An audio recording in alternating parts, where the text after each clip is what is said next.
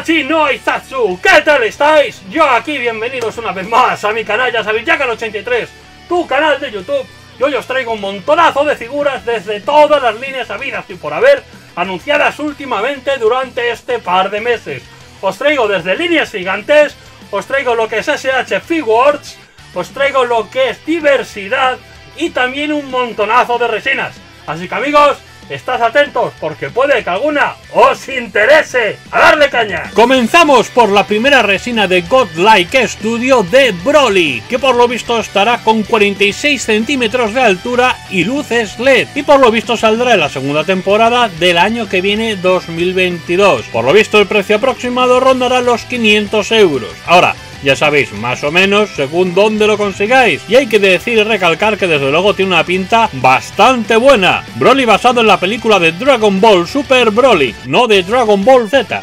La siguiente resina nos trae a lo que es a la aventurera Bulma. Si amigos míos, Sakura Studio nos trae una resina basada en dicho personaje, el cual recalca bastante bien lo que era el comienzo de Dragon Ball, con 34 centímetros de altura y viene con luces LED, una figura para los más altos coleccionistas con mayor adquisición monetaria. De la mano de Sume Art nos llega esta figura de Freezer en la cuarta forma por un precio aproximado de 1.300 euros. A escala 1.4 lo que quiero deciros que tendrá 76 centímetros de altura e irá con luces LED. Por lo visto estará pensado para la cuarta temporada del año que viene, o sea, 2022.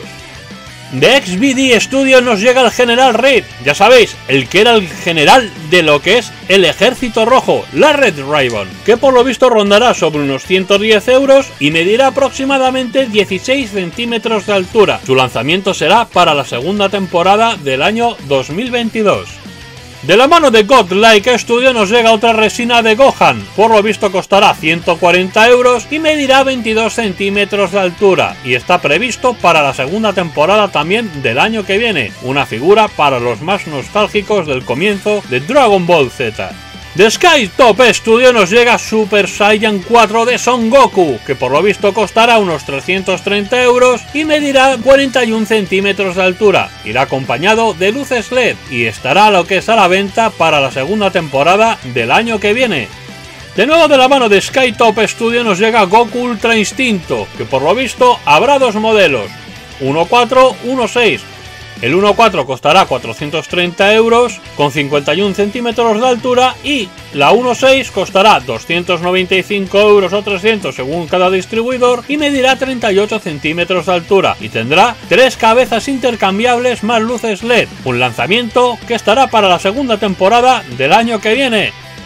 De la mano de Dim Model Studio nos llega Goku y Gohan Nimbus Resin Statue. Lo que quiero deciros lo que estarán los dos personajes en sí en una sola resina, en la cual estarán sobre la nube Quinton, como también fue más bien conocida. Por lo visto, costará unos 250 euros para la primera temporada del año que viene, 2022. Irá a dos escalas que será 1.4-1.6. La 1.4 tendrá 40 centímetros de altura y la 1.6 30 centímetros de altura, allá del gusto de cada cual. La verdad es que tiene una pinta bastante buena. De XBD Studio nos llega la Kane House, lo que es lo mismo, la isla con la casa en la cual vivía el maestro Mutenroy, o Mutenrossi, o Duende Tortuga, o como queráis llamarle, por un precio de 450 euros aproximadamente y 34 centímetros de altura por 64 de ancho por 45 de fondo y luces LED. No está nada mal. Lanzamiento previsto para la segunda temporada del 2022. La compañía de Solway nos presenta la estatua a escala 1-4 que le dedican a Krillin y al androide 18 basada en el anime en el cual por primera vez el androide besó a Krillin. Las medidas constará de 49 centímetros de altura por 36 centímetros de ancho y 38 centímetros de profundidad por un material hecho de resina y saldrá a la vista lo que es en sí a la venta de manera todavía desconocida, pero desde luego pinta bastante bien. De la mano de Sculpting Show nos llega esta resina de Cell. Desde luego tiene una pinta bastante buena, de la cual vendrá con una caja de arte y certificado de autenticidad. Por lo visto costará lo que es Cell solo unos 300 euros y acompañado con todo lo demás y los pequeños cells con 550 euros. La cabeza de Android 16, otros 55 euros. Desde luego no veáis el dinero que están sacando. Estará disponible para lo que es el año que viene en segunda temporada. De la mano de T-Rex Studio nos llega esta figura de Trunks del futuro, lo que es Mirai Trunks con caja de arte y certificado de autenticidad. Habrá dos medidas diferentes, una con 25,8 centímetros de altura y la otra con 17 centímetros de altura y por lo visto costará una 125 euros y la otra 165. Estará disponible para la primera temporada del año que viene.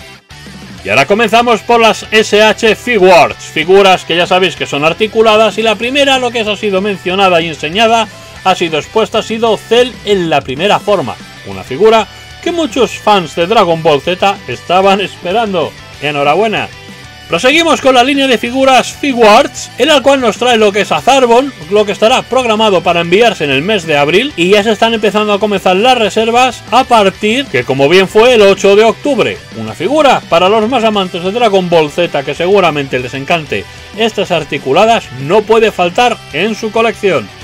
Y desde luego no iba a ser menos, tras la presentación del teaser de la película de Dragon Ball Super Super Hero, nos llegan las nuevas figuras basadas en la película articuladas. Si hablamos de las figuras de Son Goku, Vegeta y Piccolo, con las especificaciones de Dragon Ball Super en sí de la película y acompañado de los nuevos posibles enemigos, el tiempo lo dirá, pero desde luego se ven pequeños cambios significativos lo que es al menos lo que es en la figura de Piccolo, una figura bastante chula. Nos llega de la línea de Solid Edge Works de Vegeta, una figura que desde luego está claro que más de uno la querrá tener, pero no hay que olvidar que será una figura sacada lo que es de Vietnam. Lo que quiero deciros que seguramente la calidad os a llevar una pequeña sorpresa desagradable como ocurrió la de Son Goku en su anterior entrega. Tendremos dos modelos como pasó en la anterior figura, en estado base y en estado Super Saiyan. En vuestra mano está Basado en lo que es en Dragon Ball Super, la compañía Plex presenta una nueva versión de Clear Version de la figura que le dedicó a Son Goku transformado en Super Saiyan God Super Saiyan y que nos ofreció hace tiempo dentro de la línea de Gigantic Series, o sea, la más grande. Hablamos de una figura que medirá 47 centímetros de altura sin la base y el material será tanto de PVC como MBS. Salida a la venta para febrero del año que viene y por lo visto lo que es al menos el precio costará lo que es en las tierras niponas 14.300 yenes. Echad los cálculos. Las reservas están abiertas actualmente hasta el 8 de noviembre de este año. Desde luego, si os gustan las figuras grandes, esta es la vuestra.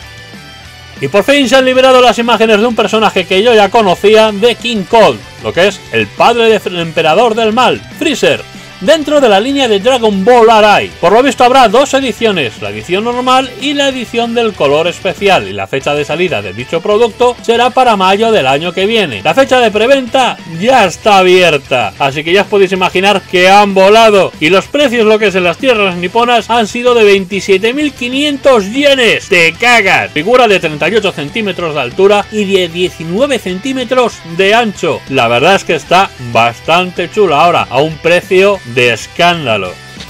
Pues bueno amigos, hemos llegado a lo que es literalmente al final del vídeo noticiero de las figuras de mundo Dragon Ball. Y la verdad hay que decir y reconocer que yo también esperaba que hubiera más de PVC. Pero es que actualmente están sacando menos, están sacando lo que es reconversiones o mejor dicho, refritos y remodelados de antiguos modelos. Y evidentemente no os voy a decir que van a sacar otra vez la misma que han sacado 20 veces. Eso a nadie le interesa. Pero sin embargo sí que os puede interesar que sepáis que para este mes de marzo van a salir nuevas figuras de Ichiban Kuji de Dragon Ball. Lo que no han especificado si es que va relacionado por el siguiente aniversario de Dragon Ball Dokkan Battle, el videojuego de móvil, o si realmente ya vamos a entrar de nuevo otra vez lo que es con Master Rise, con la saga de Namek o otra Back to the Film, o a saber qué. Hay muchos rumores, pero no hay nada reconfirmado. Pero que viene material en camino, tenerlo muy seguro. Así que amigos, ya sabéis que le deis duro al vicio, que disfrutéis como enanos, que friquéis a más no poder y sobre todo, ¡Sayonara Tomodachi!